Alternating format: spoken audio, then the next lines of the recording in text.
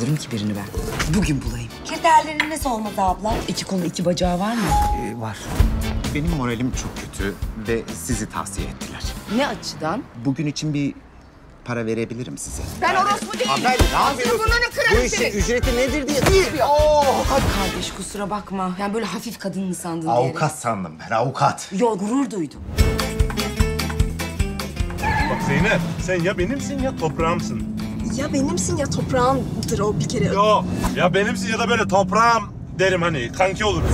Senin bu kardeşin Emirhan kiminle evleneceğine kendinin değil de benim karar vereceğimi bilmiyor. Babası değerli bir emniyet müdürü. Annesini bir görün, Haza hanımefendi.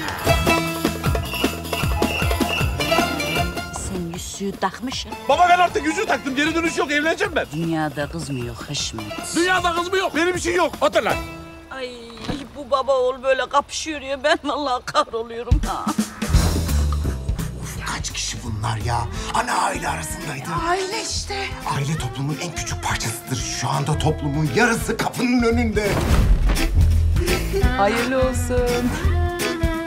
Çok teşekkür ederim, harika. Estağfurullah evladım. Götünde paralansın.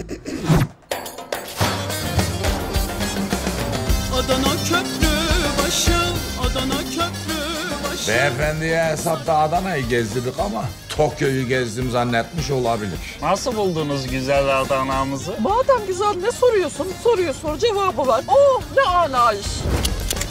Eller havaya. Eller yukarı kız o.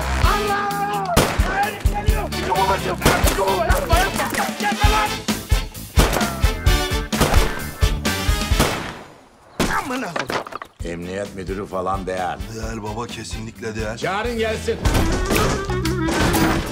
Vallahi anam avradım olsun hepinizi keserim burada. 50 parçaya bölerim. Giderim dağın tepesine gömerim. Puzzle gibi ararsınız benim kolum bacağım nerede acaba diye. Sizi buraya rica ettik.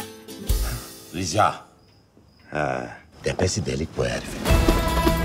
İki saat kız isteme, iki saat düğün. Aile arasında. Aile arasında.